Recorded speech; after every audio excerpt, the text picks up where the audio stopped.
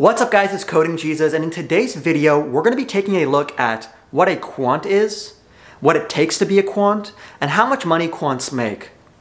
Now, for those of you that are new to my channel, I'm Coding Jesus. I'm a quantitative developer, not a quant, I'm a quantitative developer, we'll get to that in a sec. But I write algorithms to interface with the exchange in an automated fashion, and I also write trading applications for traders at the firm that I work at to display risk, to allow them to trade, etc., etc. All right, guys, so let's jump right into it. What is a quant? What do they do? What skills do you need to become a quant? And how much money do they make? All right, guys, a quant is another way to describe a quantitative analyst. It's the short form for quantitative analyst. In a very general sense, quants work with numbers to backtest various strategies that will make money for the firm. Now, quants aren't only theoretical in nature, they don't only work with crunching numbers and data, but they also trade themselves. So they practice what they preach really. They build the models that, will, that a quantitative developer like myself will implement, and then they go ahead and trade based off those models as well.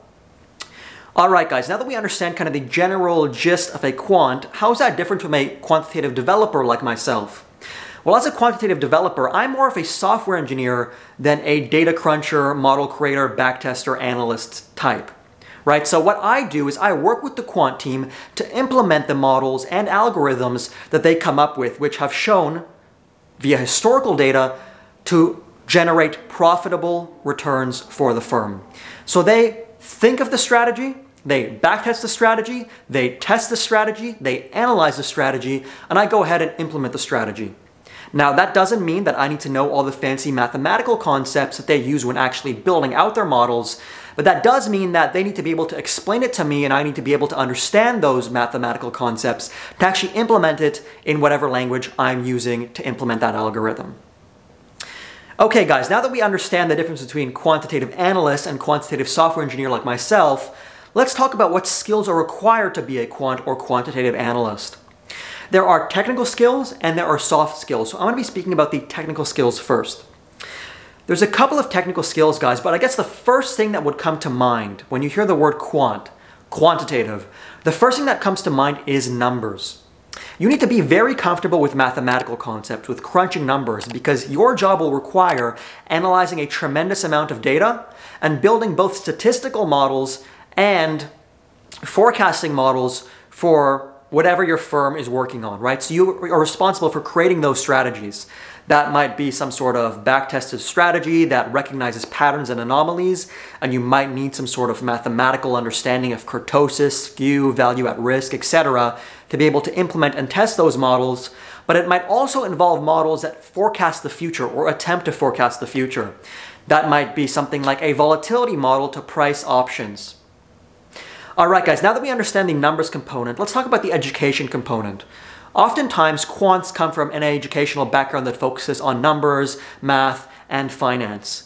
That might be a master's in mathematics, a master's in financial engineering, etc., etc. Now, if you don't come from that mathematical background, that's still okay.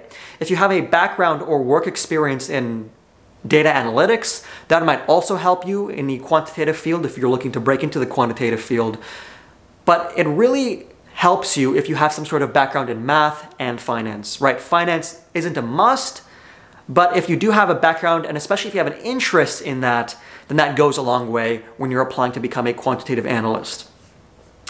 Okay, the third technical skill you should have as a quantitative analyst or applying to become one is an understanding of various trading concepts. Now that often involves option theory.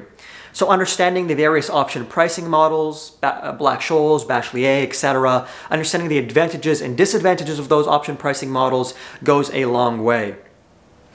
All right, the fourth and probably one of the most critical skills you should have as a quantitative analyst is programming language experience.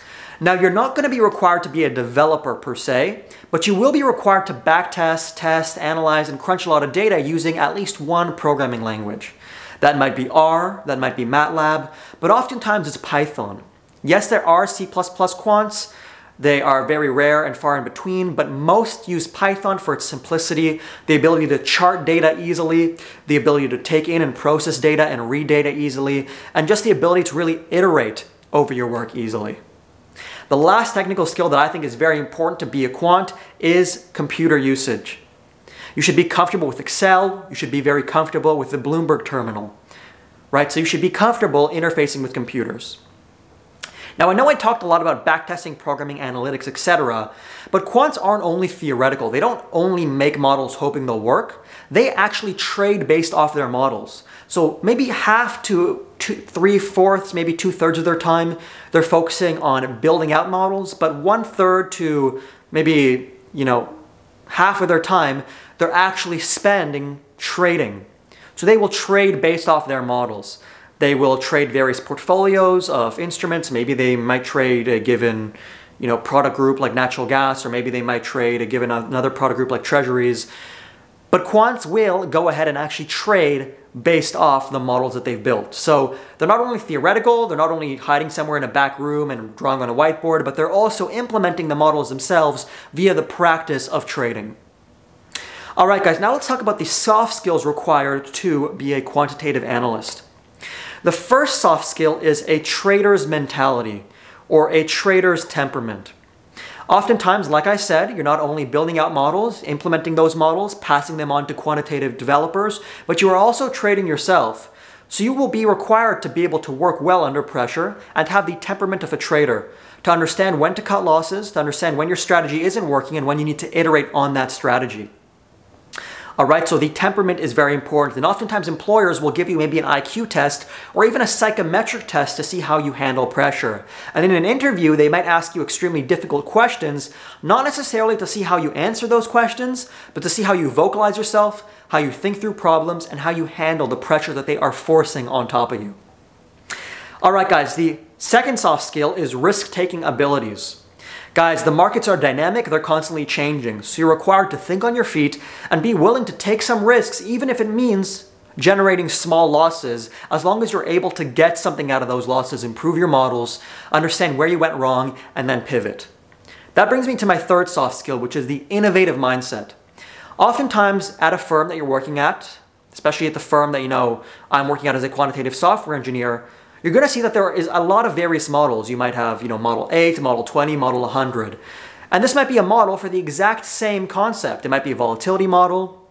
It might be some other model that, you know, quants are developing. But when you join these hedge funds and these high frequency trading firms, you'll notice, you know, we're on model 154. Why were you on model 154 and how is it different than model 153? Well, model 154 is a slight improvement on model 153. So quants are required to not be anchored to what they've create, but rather learn from any mistakes that their model generates, be proud of the profits that it does create for the firm, but also innovate based off the mistakes that you've learned from the previous model when creating a new model. All right, guys, and the very last thing that a quantitative analyst should be comfortable with is failure. You should be comfortable admitting failure, understanding where something didn't go well, and this comes back to that innovative mindset which involves iterating on your failure to hopefully improve, improve, improve to the point where you're succeeding on a constant basis. So be comfortable with failure because markets are always dynamic. A trend that existed in the past three months during some given high volatility period might not exist in the next three months if volatility completely drops off. So you need to be cognizant of that, be comfortable with failure, and understand that sometimes failure is expected. Because if you don't fail, well, you didn't learn anything and you're not iterating off what you've previously created.